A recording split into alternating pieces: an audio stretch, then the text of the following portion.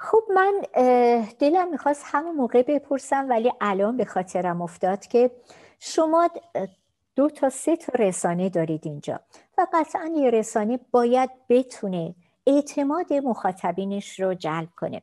شما چطور این اعتماد رو جلب کردید و از کجا متوجه میشید که این موقعیت به وجود اومده؟ والا اعتماد با صداقت میشه. یک نفر بخواد تظاهر بکنه یه سال دو سال پنج سال ده سال نه بیست و چند سال. خب بالاخره یه جا لو میره دیگه. ماهیت خودش رو نشون میده. به اونجاها نمی‌کشه. صداقت که تو کار باشه مردم این صداقت رو درک می‌کنن. حسن نیت که تو کار باشه مردم متوجه میشن که شما حسن نیت دارین. سرمقاله های من همشون اخلاقی هن همشون مثل ارشاد دهنده و و انسانی هستن برای همینه که طرفدارای زیادی داریم. خود سرمقاله من. خیلی پیشنهاد می‌کردن که بله. کتاب در بیار. گفتم که کتاب کسی نمی‌خره کی می‌خواد بخره؟ گفت خود من ده تاشو می‌خرم. ولی اینا فایده نداره در حقیقت. ولی همینا ما توی آرشیو شهر ما داریم. مجله شهر ما توی اینترنت هست. مال سالهای قبلم هست. ممکنه سالهای چند سال اولیه نباشه ولی در مجموع تقریبا همه آرشیو ما در مجل در اینترنت هست شهر ما داد می‌تونن برن و اونجا مطالعه بکنن برنامه چیزایی که داریم. ما بسیار بزرگترین پشتوانه ما مردم هستن.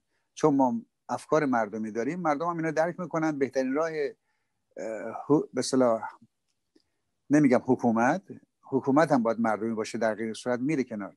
مردمی با همراه مردمی که باشید مردم هواتون رو داره بله پس من احساس کردم که شما تابع یه قوانین و اخلاق حرفه‌ای هستید و محور این اخلاق حرفه‌ای شما صداقت شما هست و توجه به خواست مردم و احترام به خواست مردم.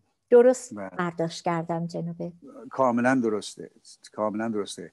اخلاقیات ما رعایت می‌کنیم. ببینید همه رسانه ها در زمین های مختلف ما رسانه داریم. مثلا در ورزش اتومبیل موتورسیکلت حیوانات.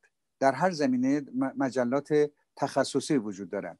ولی همه اینا اگر صداقت داشته باشن طرفدارای خودشون رو نگه میدارن.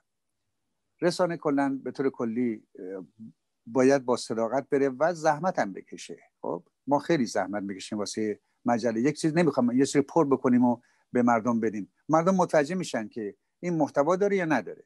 وقتی که مجله رو ورق می‌زنن نگاه می‌کنن که به قول معروف یکی میگفتش که اگه یکی بخواد بره مسافرت و بهش بگن که یک مجله بیشتر نمی‌تونه ببری بیش از 90 درصد شهر ما رو انتخاب می‌کنن. برای اینکه همه چی داره.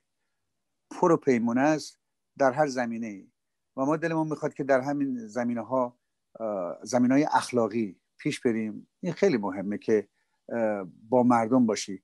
البته من ارق ملی دارم ملیگرایی تنها راه نجات ایرانی هست